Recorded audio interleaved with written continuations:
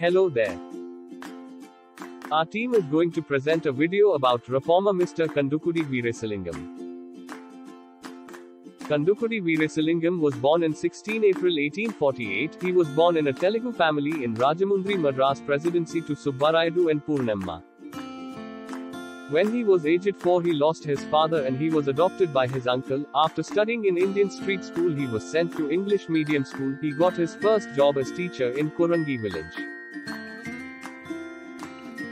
Veeresalingam was a scholar in Telugu, Sanskrit and Hindi. He is a good writer. He wrote plays such as Prahalada in 1886 and Satya Harishchandra in 1886.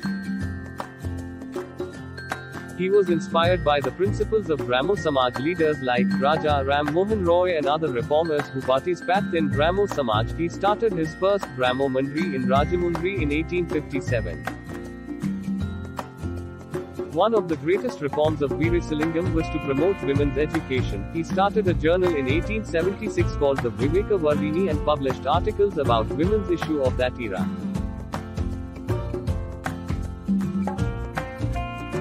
Kandukuri Veeresalingam was one of the first attenders of the First Indian National Congress in 1885. Veeresalingam died on May 27, 1919 at the age of 71. His statue has been placed on the beach road in Vishakhapatnam. In his memory Indian Postal Service issued a 25 paisa postage stamps in 1974.